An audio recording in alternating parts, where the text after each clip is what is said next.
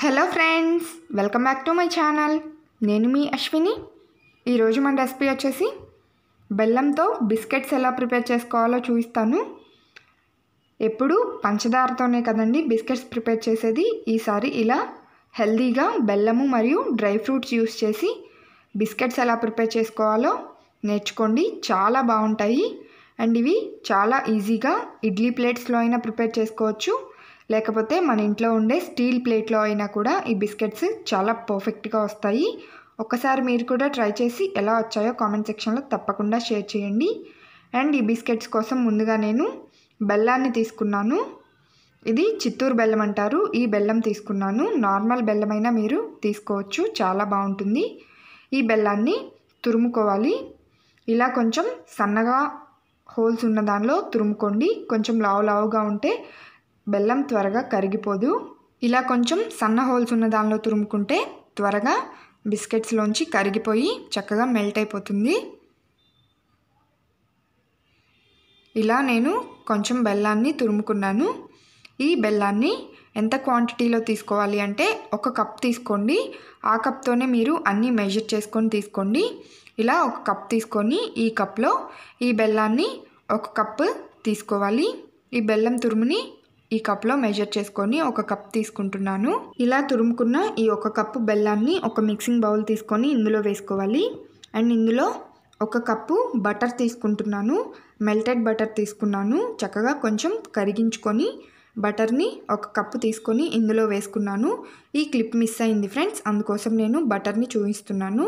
ఇలా వేసుకొని బెల్లంలో ఈ బటర్ బాగా కలిసి క్రీమ్ లాగా అయ్యేంత వరకు ఇలా బాగా కలుపుకోవాలి. స్పూన్ ఉంటే స్పూన్తో లేకపోతే ఫోర్క్తో లేకపోతే ఇలా విస్క్ విస్కర్తో అయినా కలుపుకోవచ్చు. చక్కగా ఇలా కలిపేసుకొని క్రీమ్ లాగా అయిపోయిన తర్వాత ఇందులో ఒక కప్పు బొంబాయి రవ్వ తీసుకున్నాను. ఉప్మా ప్రిపేర్ చేసుకుంటాను చూడండి ఆ రవ్వని ఒక కప్ తీసుకొని ఇందులో వేసుకోవాలి. అండ్ ఒక రెండు కప్పుల ఆల్ పర్పస్ ఫ్లోర్ తీసుకున్నాను. ఇది మైదా పిండి కాదండి పూరికి యూజ్ చేస్తాం చూడండి ఆ పిండి ఆల్ పర్పస్ ఫ్లోర్ అంటారు. దీన్ని ఒక రెండు కప్పులు తీసుకున్నాను. అండ్ ఇందులో ఒక పావు స్పూన్ ఇలాచీ వేసుకోవాలి. ఇలాచీ పౌడర్ యాలుకల పౌడర్ అండ్ ఒక చిటికెడు ఉప్పు కూడా వేసుకొని ఇది మొత్తాన్ని చక్కగా కలుపుకోవాలి. ఈ పిండి మొత్తం ఈ బటర్లో బాగా కలిసేంత వరకు ఇలా కలుపుకోండి. మీరు బటర్ బదులు ఆయిల్ అయినా యూజ్ చేయొచ్చు నెయ్యి అయినా యూజ్ చేయొచ్చు. ఏది యూజ్ చేసినా బిస్కెట్స్ మాత్రం చాలా చక్కగా పర్ఫెక్ట్గా వస్తాయి. ఇలా కొంచెం ముద్ద ముద్దలాగా అవుతుంది. ఇప్పుడు ఇందులో ఒక రెండు స్పూన్లు ఆయిల్ వేసుకుంటున్నాను.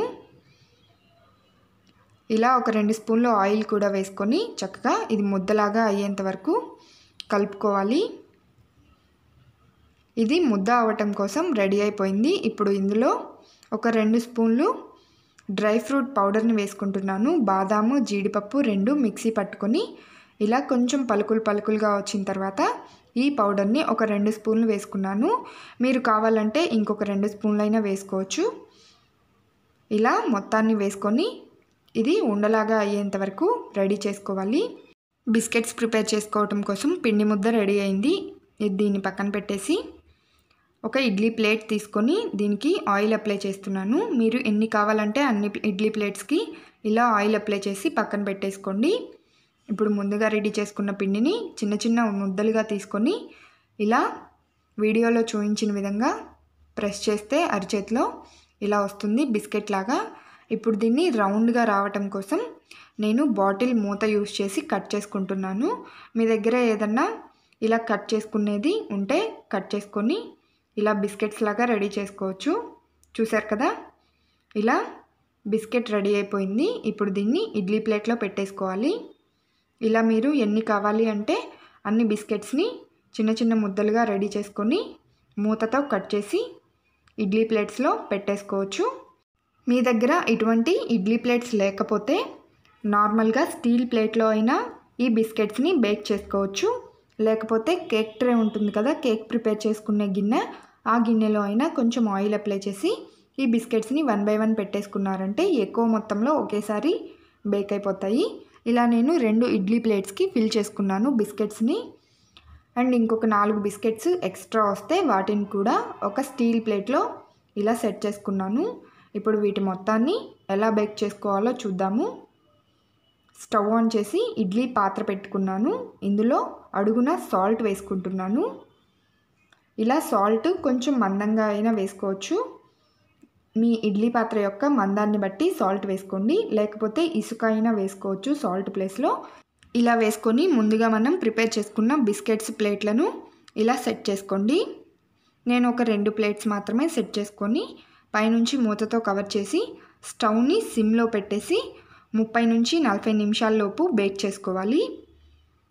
అండ్ మరొక స్టవ్ మీద ఒక కడాయి పెట్టుకొని ఇందులో ఒక స్టాండ్ పెట్టుకొని ముందుగా రెడీ చేసుకున్న స్టీల్ ప్లేట్లో బిస్కెట్స్ని పెట్టుకున్నాం కదా ఈ ప్లేట్ని కూడా ఇలా పెట్టేసుకొని పైనుంచి మూతతో కవర్ చేసి దీన్ని కూడా ఒక హాఫ్ అన్ అవర్ పాటు సిమ్లో పెట్టేసి బేక్ చేసుకోండి. చూసారా? చాలా చక్కగా ఒక అరగంట తర్వాత ఇవి బేక్ అయిపోయాయి.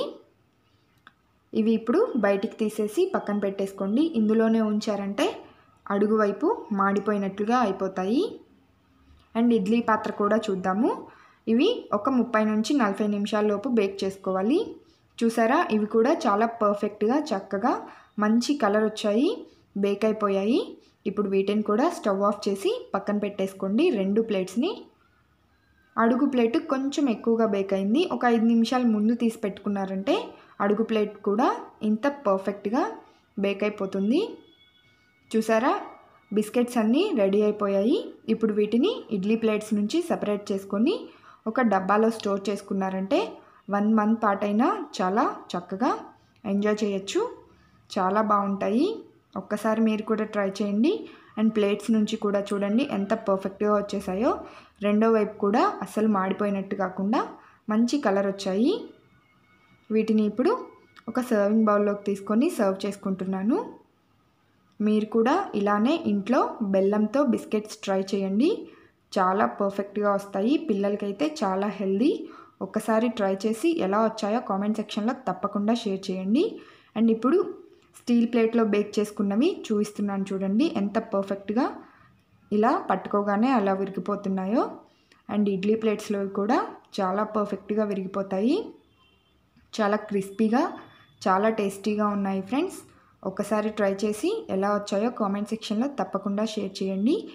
ఈ డ్రై ఫ్రూట్ జాగ్రీ బిస్కెట్స్ మీకు నచ్చాయంటే లైక్ చేయండి షేర్ చేయండి కామెంట్ చేయండి. ఇటువంటి మరెన్నో రెసిపీస్ కోసం వెంటనే నా ఛానల్ని సబ్స్క్రైబ్ చేసుకొని పక్కనే ఉన్న బెల్ బటన్ని క్లిక్ చేయండి. అలా క్లిక్ చేస్తే నేను పెట్టే ప్రతి వీడియో నోటిఫికేషన్ మీ హోమ్ పేజ్కి వస్తుంది. Thank you for it friends. Bye.